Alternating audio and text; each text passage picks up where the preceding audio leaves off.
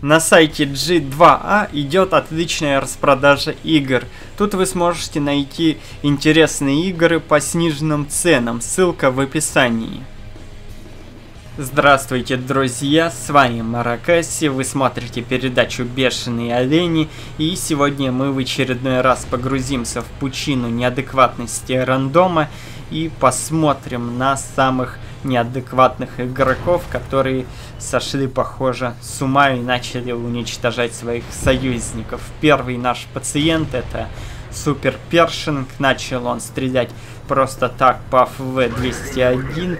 И игроку на британском танке э, приходится отвечать.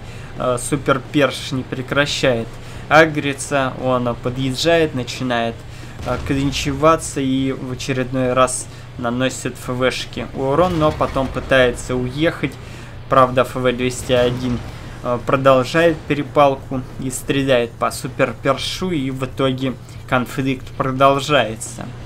Э, конечно, можно сказать, что ФВ-201 тоже в какой-то степени виноват, э, хотя что ему еще делать, когда по нему стреляют?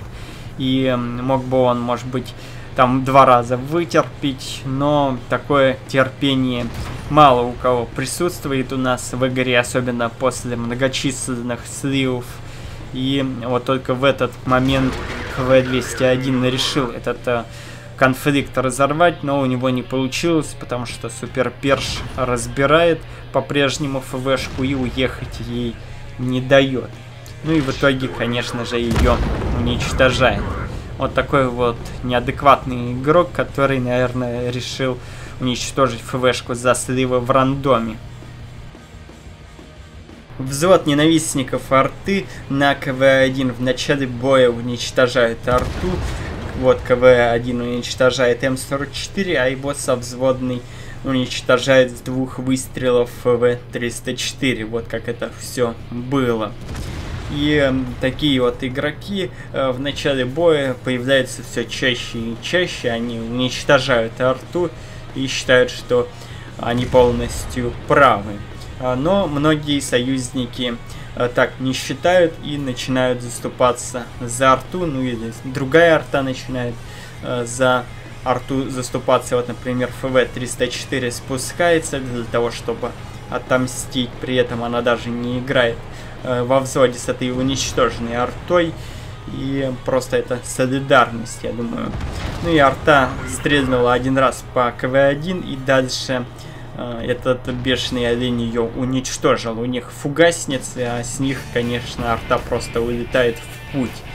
Э, тип 58 согрелся на этих КВ-1 и начинает э, по одному из них стрелять.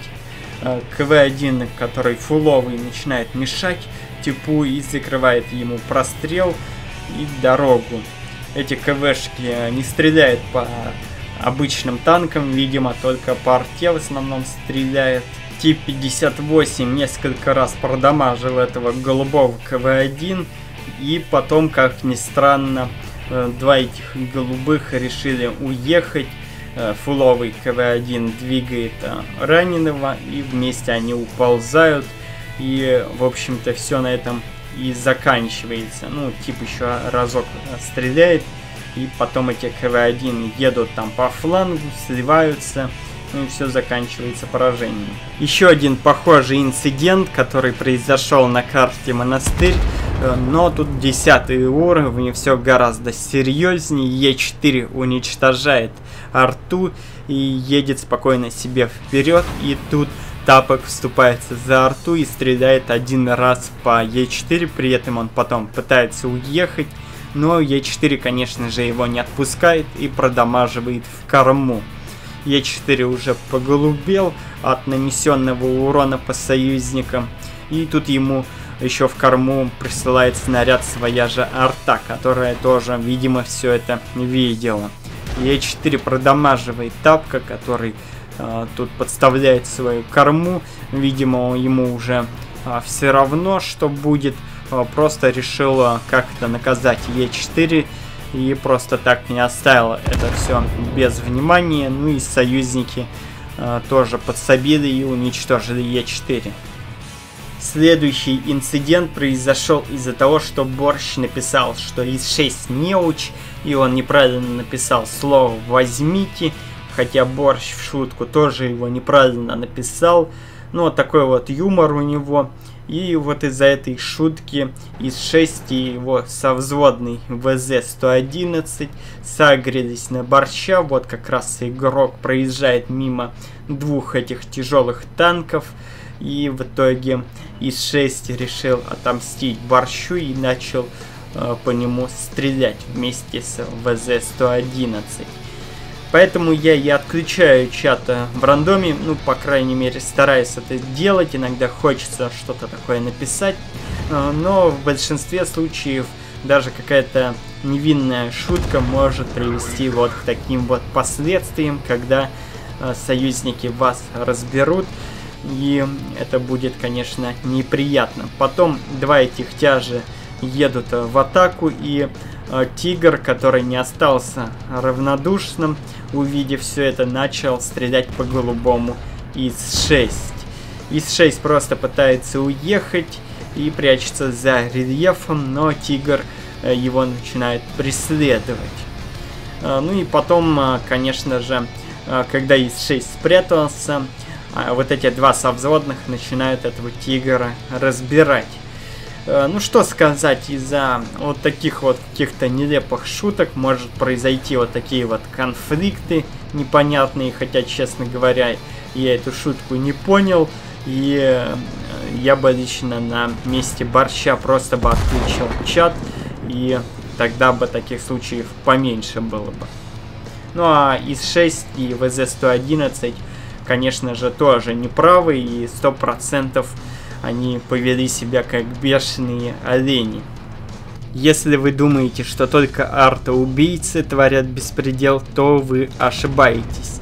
Иногда и сама арта тоже стреляет по своим союзникам. И поверьте, это очень даже плохо, потому что еще бешеного оленя можно сразу распознать, а арта может за километр по вам стрелять, и вы даже не поймете, откуда кто по вам стреляет. И как вы могли видеть, в начале Су-14-2 преднамеренно уничтожает своего союзника на борще. Просто с одного выстрела ваншотит его. Потом Су-14-2 начинает выцеливать других своих союзников. Естественно, и так понятно, что она это все делает преднамеренно для того, чтобы принести вред своим союзникам.